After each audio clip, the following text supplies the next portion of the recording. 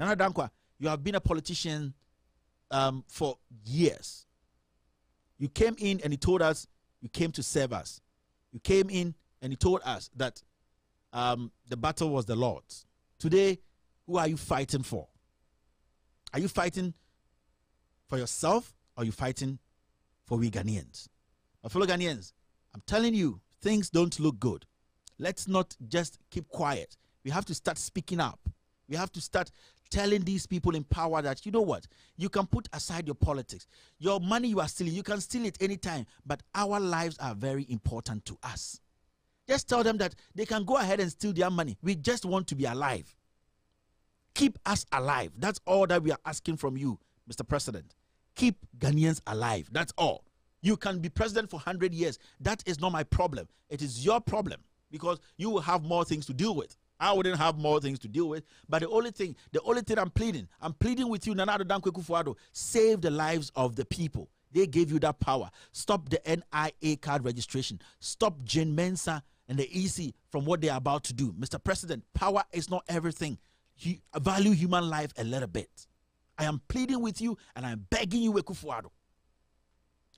Value human life a little bit. Humans gave you that power. You will not live till the world ends, Mr. President. Understand that humans, these stupid humans you don't respect, these simple Ghanaians, these poor Ghanaians that you don't want to open hospitals for them to go and get treatment.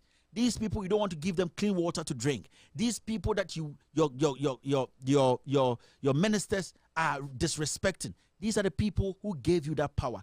Just give them that respect. Save them. That is all that they're asking from you. They don't need anything. They don't need anything from you, Mr. President. Ghanaians just want you to save them. How do you save them? Make sure the NIA guys stop what they are doing. Make sure that EC stop the registration they're about to do. Save Ghanaians. What is so big or so difficult about this? Fellow Ghanaians, I have never done this before, but you see, today I am pleading with the president. I am pleading with him because this thing from what I see, this, from my source, this thing is going to get out of hand. From what we saw in Italy, what we saw in China, in other places, even in America today, it is not easy. We are not prepared as a nation.